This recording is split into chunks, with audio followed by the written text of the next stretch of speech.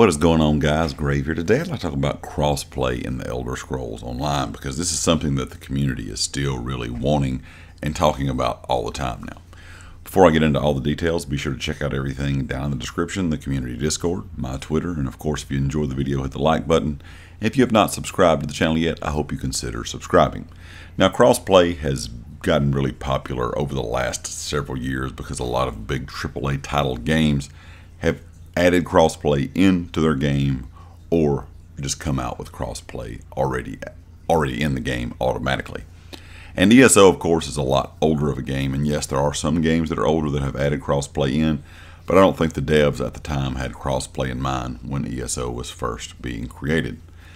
And a lot of people now think that it would be harder to do, hard to merge console and PC together, and it may be. We may have to have another ESO style game come out from uh, Bethesda and ZeniMax down the road before we ever get crossplay.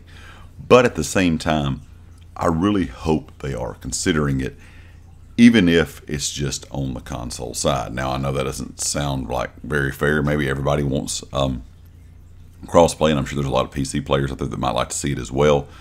But it would be a really good idea, in my opinion, to at least merge the console versions of the games. If you merge PlayStation and Xbox, uh, new gen and old gen would be great, but if you only could do one or the other, I can understand that.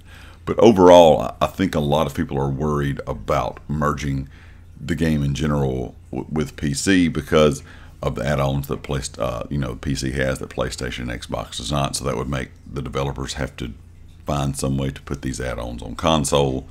Also, the price difference uh, in a guild trader. If you've never played ESO on PC, the price differences and just uh, your waxes and, and your normal crafting materials, there's a massive difference in console on PC. Some things on console that only cost four or five thousand gold will cost fifty thousand plus on PC. So a lot of people feel like if they didn't merge PC uh, with console, that it would really pretty much kill all the gold that console players have because they wouldn't be able to afford the prices. And I do get that.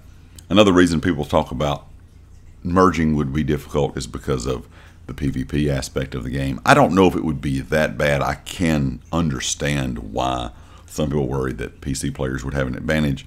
But personally, there's a lot of PC players that I know of that play with a controller, so I'd kind of have to wait and see on that. But I, I mainly think it's add-ons and things like, like I said, the the gold already there, uh, you know, being there on the platform for as long as it has, the prices being what they are for uh, as long as they are or as long as they have been.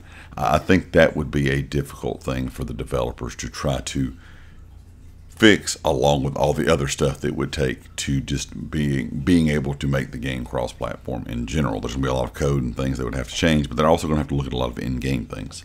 So overall, I really hope if they do not make the game cross-play right now for all platforms, like I said, maybe hopefully a lot of us are wondering, is there another ESO game in the develop in development that may come out years from now? Maybe we will have crossplay then uh, for all platforms. But I really would like to see ZOS if they're planning on leaving this game like it is for several more years. Nothing new is going to come out. You know, that's going to take the player base away that they're working on, or another ESO game is going to be coming out. You know, everybody's going to move on to it. I would really like to see uh, some type of, of con conversation or, or, comments from the dev team, kind of wondering could they make just the consoles crossplay because I think that would be really good for the game. When it comes to PlayStation, uh, PS5, I always see tons of players running around on PlayStation. It's not like there's a lack of player base, at least on the NA server. I'm not quite sure on the Xbox servers, but I think it would be better for the player base just in general if we had all the console players together on one server being able to play, you know, cross play with each other. Anyway, leave me a comment with your thoughts, and I'll catch you all next time. Peace.